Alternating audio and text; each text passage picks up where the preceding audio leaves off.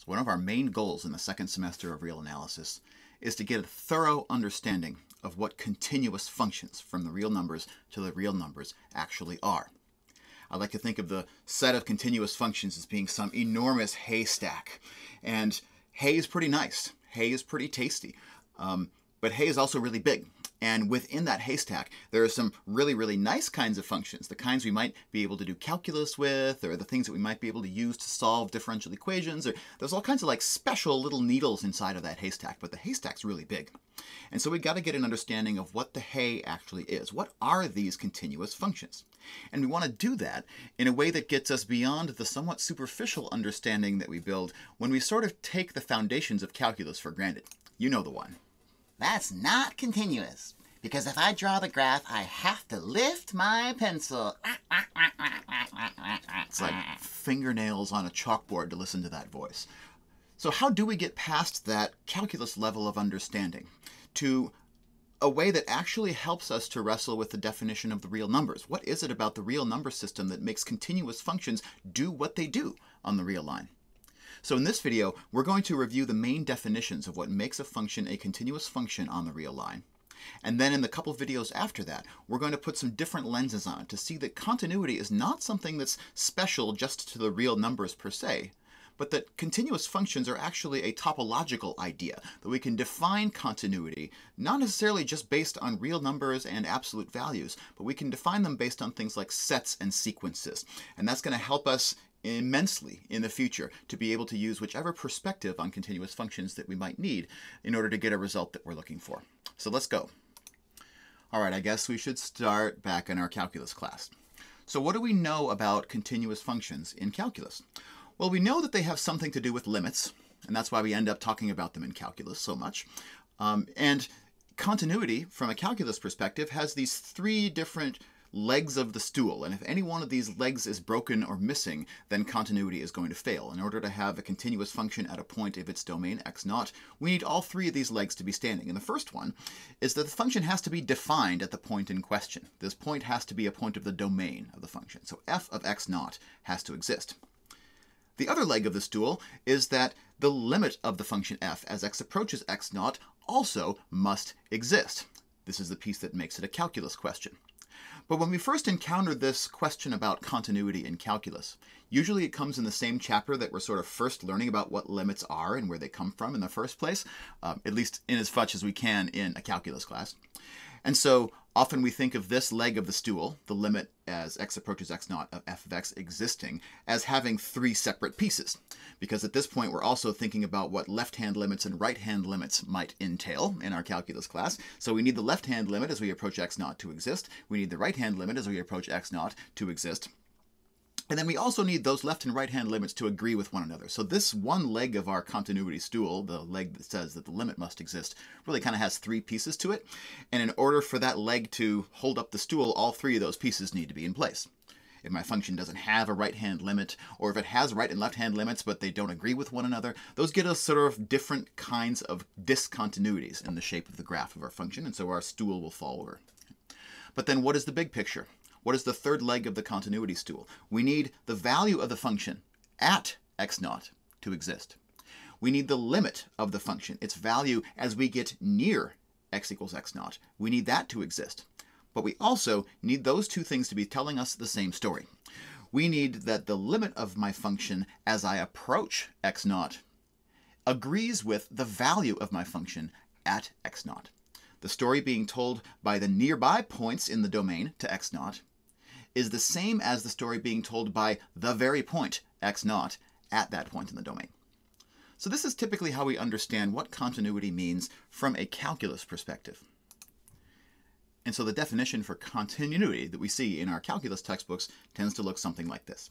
f is continuous at a point x naught whenever the limit of f of x as x approaches x naught agrees with the value of f at x naught.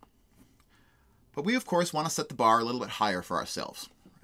Uh, we've sort of been through calculus, and it is now time to put aside childish things and think in an analysis framework, what does this actually mean? And in particular, the thing that's unclear, except from an analysis framework, is what should the limit of a function actually mean in a real analysis sort of perspective? So we have to have some understanding of what is limit of f of x as x approaches x naught. So just a review of the definition of the limit of a function from our first semester of analysis. The limit of a function f of x as x approaches a point x naught in its uh, possibly in its domain, but possibly not, right? This limit is equal to some real number capital L. If the following thing is true, so I have a point x naught in the domain, I have its image f of x naught in the codomain of my function, and the limit of f of x as x approaches x naught should equal capital L, in this case capital L, the role of capital L is being played by f of x naught, that that should equal that limit if I can get as close to the y value that I would like to get to as I would like by getting as close to the x value as I need to. And so the typical picture that gets set up looks something like this. However close to this limit value that you would like me to get, I should be able, in turn, to make all of the values of my function be that close to capital L, the value that we want, just by making the x values that I pick close enough to x naught. So I can get as close on the y-axis to capital L as you want me to, just by getting as close to x naught on the x-axis as I need to in order to make that happen. So it's this give and take. You tell me how close you want me to get to the value of the limit, capital L, and then I go and I find how close do I have to get to x naught in order that all of my x values that are within that distance of x naught are going to have their y values that are that close to capital L. So on the graph, what it ends up looking like is something like this. You choose for me a sort of a, a target radius. So how close do you want me to get my y values to this capital L? Right? And so you pick this sort of radius and it defines for me kind of a, a, little piece, a little chunk of the y-axis that is sort of plus or minus a certain distance from the limit, the purported limit, capital L. And we're just going to call that distance, the radius of that interval, we're going to call that radius epsilon. So you tell me, I want you to get epsilon close to the value that we claim that this limit has. Right? Whatever epsilon that you choose for me, I don't have the ability to control that. And so what I need to do in turn is then I need to figure out how close do I need to get to my value x naught in order to get the y values of those points to be within the purported uh, uh, distance of the limit. And so the picture that's getting set up here is that if I can get close enough to x naught, if I can get my x values to be within this green portion of the x-axis, then all of the y values of the points on the graph that have those x values, all those y values are going to be within this purple interval on the y-axis. And if you choose a different epsilon for me, if you want me to get closer than before, then I probably have to choose a different delta. I have to get closer to my x naught. You want to get closer to L, I have to get closer to x naught. If you let us be further away from L, I can probably let us be further away from x naught. But the point is that whichever, however close you want to get to our limit, we can get that close just by getting as close as we need to to x naught.